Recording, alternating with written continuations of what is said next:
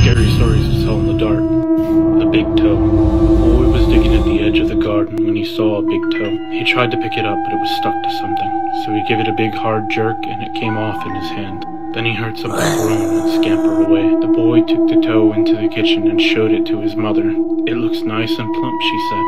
I'll put it in the soup, and we'll have it for supper. That night, his father carved the toe into three pieces, and they each had a piece. Then they did the dishes, and when it got dark, they went to bed. The boy fell asleep almost at once, but in the middle of the night, a sound awakened him. It was something out in the street. It was a voice, and it was calling to him. Where is my toe?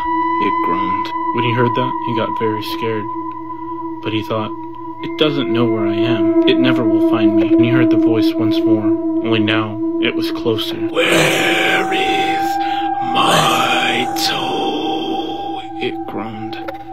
The boy pulled a blanket over his head and closed his eyes. I'll go to sleep, he thought. And when I wake up, it will be gone. Soon he heard the back door open, and then again he heard the voice.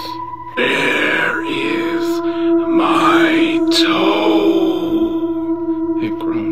boy heard footsteps move through the kitchen, into the dining room, into the living room, and into the front hall. And slowly, they climbed the stairs, shaking with fear. He listened as the footsteps moved slowly through the dark towards his bed. Then, they stopped. Where is my toe? It groaned. You've got it!